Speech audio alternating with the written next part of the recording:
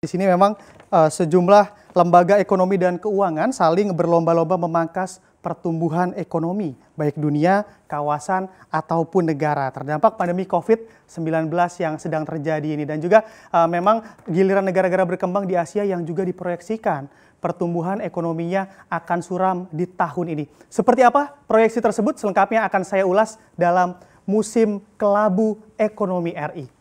Bisa kita lihat di slide selanjutnya ini, Lembaga Keuangan Asian Development Bank atau ADB memangkas proyeksinya terhadap perekonomian negara-negara berkembang di Asia pada tahun ini. Pada sebelumnya, ADB juga sempat memproyeksikan angka PDB sejumlah negara di Asia di kisaran 5,5 persen. Lalu dipangkas lagi menjadi 2,2 persen dan kini ADB juga memangkas kembali proyeksinya menjadi 0, 0,1 persen di 2020 untuk sejumlah negara-negara berkembang di Asia. Dengan angka proyeksi tersebut, EDB menilai bahwa langkah-langkah penanggulangan ini untuk mengatasi pandemi mayoritas menghambat kegiatan ekonomi di kawasan tersebut.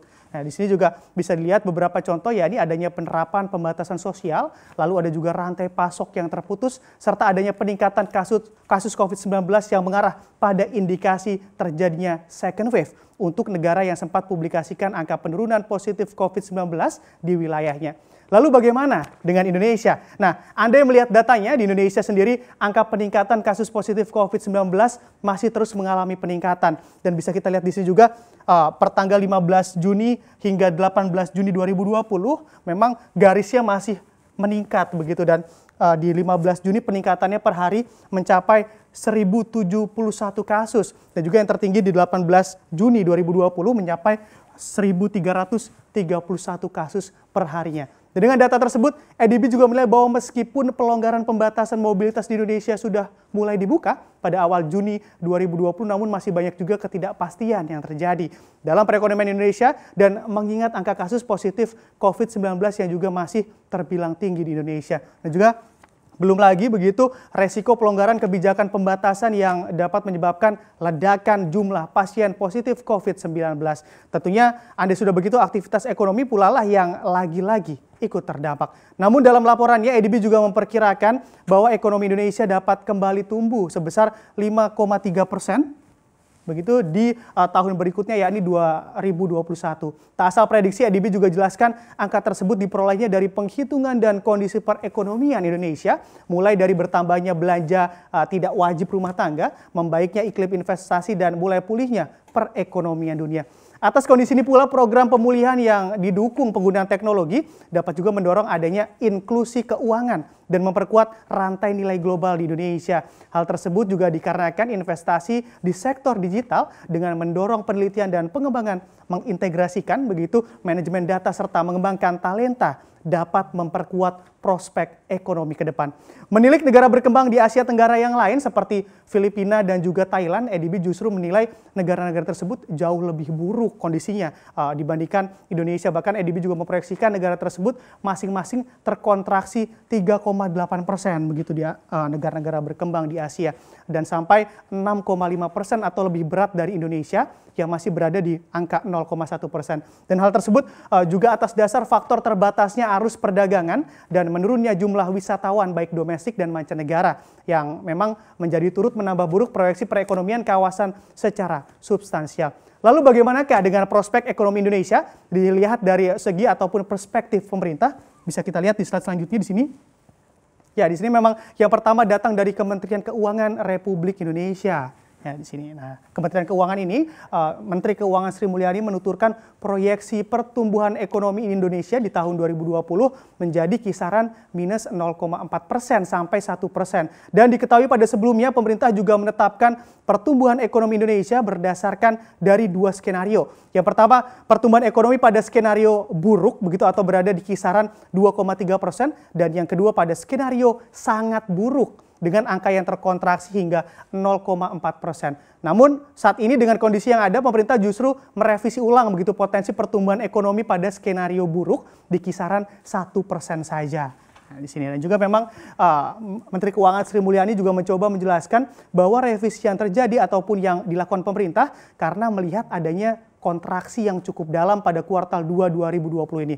Meski begitu, sebagai sebagai Menteri Keuangan, Sri Mulyani menegaskan bahwa realisasinya ini tentu akan sangat tergantung dari kemampuan pemerintah untuk memulihkan ekonomi di kuartal 3 dan 4 2020 atau pada semester 2 uh, eh, di tahun ini atau 2020. Selanjutnya uh, yang juga memproyeksikan begitu yakni Bank Indonesia Nah, di sini Bank Indonesia uh, melihat kondisi yang sangat volatile. Bank Indonesia juga memproyeksikan pertumbuhan ekonomi Indonesia pada 2020 berada di angka 0,9 persen hingga 1,9 persen. Berbeda dengan Kementerian Keuangan, begitu yang saya sebutkan tadi, nampaknya Bank Indonesia uh, terlihat lebih optimis dengan menetapkan angka proyeksi tumbuh lebih tinggi daripada pemerintah yang mematok proyeksi pada kisaran 0% hingga 1% di tahun ini.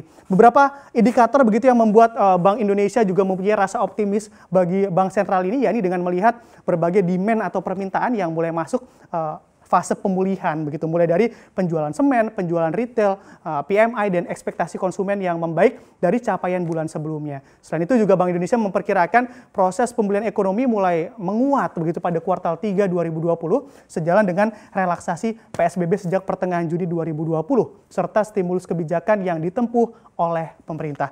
Memang kalau dilihat begitu uh, dari statement Bank Indonesia ini terlihat begitu optimis. Lalu bagaimana proyeksi dari sektor perbankan lain? Apakah seoptimis Bank Indonesia? Bisa kita lihat di slide selanjutnya.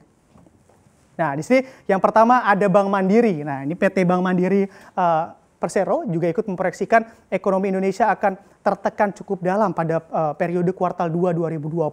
Bank BUMN ini memperkirakan uh, bahwa ekonomi Indonesia akan minus 3,4 persen begitu sebesar 3 minus 3,4 persen pada kuartal kedua tahun ini. Angka tersebut juga dilandasi oleh berbagai faktor mulai dari adanya resiko terjadinya gelombang kedua pandemi serta banyaknya negara yang uh, menerbitkan surat utang begitu atau obligasi untuk mendanai stimulus agar perekonomian tak semakin tertekan lebih dalam lagi. Tidak hanya itu saja Bank Mandiri juga mencatat ketegangan perang dagang yakni Amerika Serikat dan juga China juga masih menjadi sentimen negatif yang dapat dikatakan belum terselesaikan sehingga resiko ketidakpastian juga masih ada. Lalu bank lain yang turut memberikan proyeksinya terhadap pertumbuhan ekonomi Indonesia yakni Bank OECD. Nah, di sini dalam kondisi ini OECD memproyeksikan pertumbuhan uh, ekonomi Indonesia di kuartal 2 2020 akan terkontraksi begitu hingga 4 persen hingga uh, dan angka tersebut juga dilihat dari sejumlah indikator mulai dari PMA yang menunjukkan peningkatan namun masih di bawah 50 serta consumer juga dilihat masih terlihat minim dan raca dagang impor bahan baku turun sangat tajam.